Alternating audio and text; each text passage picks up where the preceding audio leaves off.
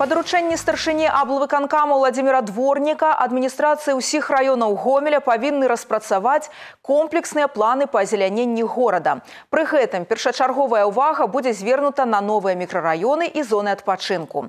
На працягу наступнага года плануецца высадзіць некалькі тысяч дрэваў. Прычым разам са спецыялізаванымі прадпрыемствамі гэтай работай будуць займацца таксама жыхары абласнога цэнтра. Якімі новымі насаджэннямі ўпрыгожаць Гомель, даведаўся Олег Сенсіроў. Нельга сказаць, што Гомель не з'яўляецца зеленым горадам, але праўда і тое, што ў розных раёнах сітуацыя можа вельмі значна адрознівацца.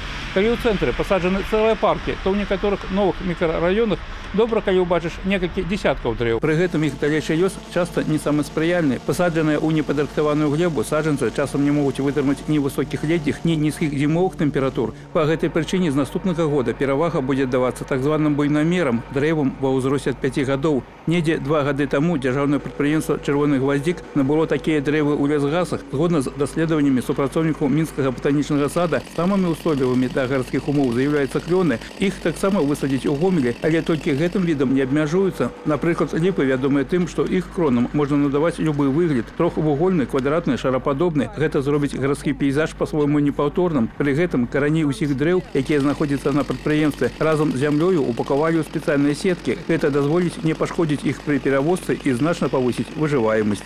Корни у нас запакованы в мешковину и специальная сетка, которая держит ком земли, там порядка одного квадратного метра, то есть это куб земли где-то. Здесь очень большие комы по метру сорок сетки. Сетку можно в любое время взять, повести на новое место, посадить, она более будет приживаться дерево, в любом месте приживется. Да азелянення гомеля плануецца прыцягнуць насельніцтва ад студэнтаў да работнікаў прадпрыемстваў, тэрыторыі якіх могуць упрыгожыць звычныя для многіх туі з каштанамі ці пакуль экзатычная філіфера. Выбар раслін для азелянення гомеля сёння тым больш значны, што апошні час да іх вырошчвання пачалі долучацца прадпрыемства лясной гаспадаркі. У рэчскім досведным лясгасе адпаведны пітомнік стварылі два гады таму і ўжо ў гэтым годзе прадставілі сваю прадукцыю на міжнароднай выставе весна ў гомелі. Пакуль асноўныя пакупнікі прыватныя асобы, але тут гатовы супрацоўнік супрацоўнічаць і з дзяржаўнымі арганізацыямі. Сёння да рэалізацыі ўжо гатовыя каля 500 дрэў. Частка з іх вырошчваецца ў спецыяльных сумках, што дазваляе захаваць карнявую сістэму.